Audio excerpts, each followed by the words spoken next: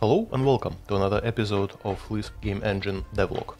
So today uh, is the week of March 4th of 2024 and yeah, what have I done this week? So first off, I started on Monday by uh, like looking at the SBCL uh, release notes, uh, and SBCL being Steelbank Common Lisp, the most prominent open source Common Lisp compiler. And uh, yeah, I've figured that I missed a new release. They actually do a new release every month with a plethora of tiny improvements uh, so yeah, uh, there's been a new release, and the thing is that I main maintain a build of SBCL. First of all, the build of SBCL for Windows 7, the actual last version of Windows that hasn't went to full shit. Uh, so yeah, I uh, actually maintain the automated build for that, so I had to bump the version, and voila, you can enjoy the new version 2.4.2 of SBCL for, uh, which is yeah compatible with Windows 7. So apart from that, I also maintain the Docker images. It's called Docker Lisp Game Dev, and as you can imagine, it allows you to build your game dev related uh, programs written in Lisp. So here I also bumped a version and yeah, you can download this um, Docker image and use it in your projects. I actually use this Docker image in my uh, template, uh, in my template for the um, game in Common Lisp. So as usual, all the links below in the video description. So yeah, you can actually download this Docker image and use it. And actually there is two images here. So first of all is the usual one to build the Linux uh, binary and the second one is tagged Windows and it actually contains the Wine uh, emulator uh, and then it also contains the um, all of this stuff uh, built for Windows like uh, MinGW compiler and all of that stuff. So the thing is you can still run it in Linux, right? It is the Linux image. But then by using it you can actually produce binaries for Windows. So the good thing is you can make a Windows binary while never touching this stinky terrible OS, uh, which is called Windows. Uh, so yeah, isn't that great? Um, and then yeah, uh, I've updated that as well, so you can uh, use it with the latest version of SBCL.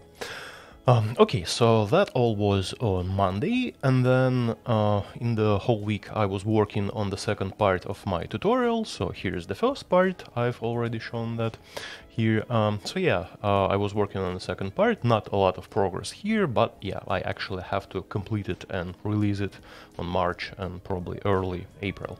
Uh, so yeah, I would be working on that uh, further.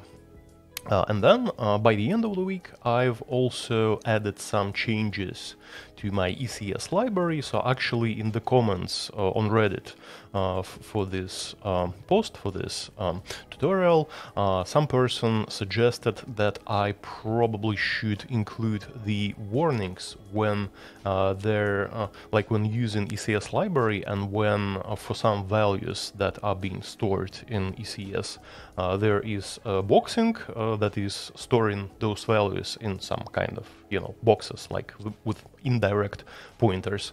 Uh, so this situ situation will actually lead to like lower performance than using the uh, like primitive types without uh, boxing. Uh, so yeah, I actually went ahead with that suggestion and added warnings. So when there would be a possible uh, like performance degradation in your code using ECS library, is CLFast ECS, uh, you will actually see a style warning. So I've added that, then I fixed the failing CI, there was some bit rot happening there. Um, and yeah, this new version is in Lucky Lambda uh, repository. So again, all, all the links down below in video description.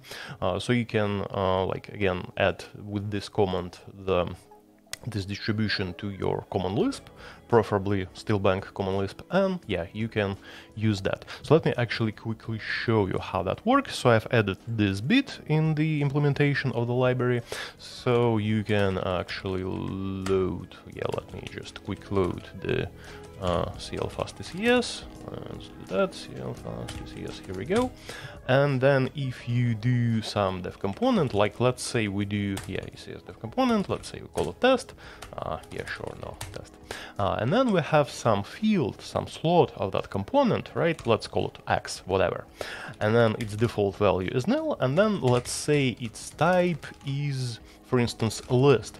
So this is exactly the situation where performance wouldn't be great because the whole idea of ECS is that you like uh, iterate uh, all of your uh, components, all of your like entities with that component and you iterate those uh, like relying on the CPU cache. You rely on those values being like in the cache right?